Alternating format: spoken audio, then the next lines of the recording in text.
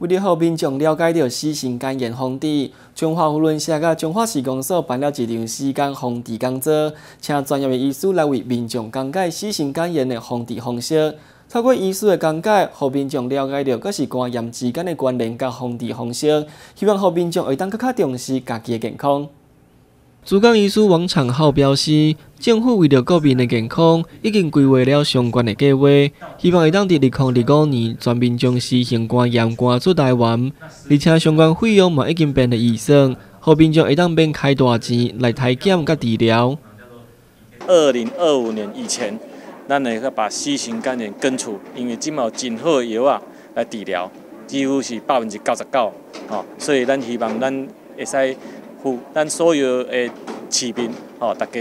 会使来去玩手哦，去检查你有抽血检查，看看你有没有 C 型肝炎，那把它根除。我们在二零二五年以前把 C 型肝炎在台湾根除，谢谢。咱 C 型肝炎被检查，除了咱的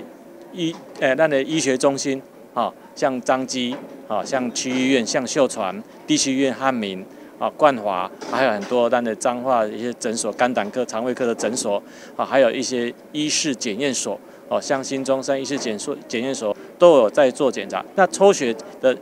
的的那个费用就只要两百块钱啊，你自费的检查就两百花两百块钱就可以检查，把你一些检查，包括 C 型肝炎抗体、B 型肝炎抗原、GOT、GPT、它的蛋白。全部都帮你检查出来。中华市长林世贤表示，台湾的医疗水准是全世界真优秀的。伫全民健保的加持之下，台湾民众一旦讲是享受到全世界介绍上佳但却是上悬品质的医疗服务，民众一定要更加注意身体健康。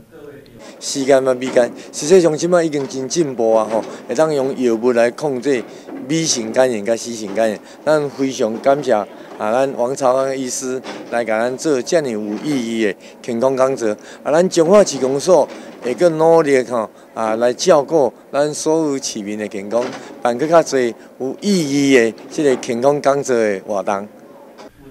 四型肝炎根据统计，大约三十万人受到感染，伊感染的方式主要是经过输血、注射药物来感染。表现甲 B 型肝炎差不多共款，第几星期了后，有百分之八十五以上会变成慢性，甚至有百分之二十会转成肝硬化，最后会变成肝癌。为了避免肝炎持续恶化，患者需要量早治疗，并且配合医师的指示做定期的追踪甲检查。新中华新闻李明宏中华采访报道。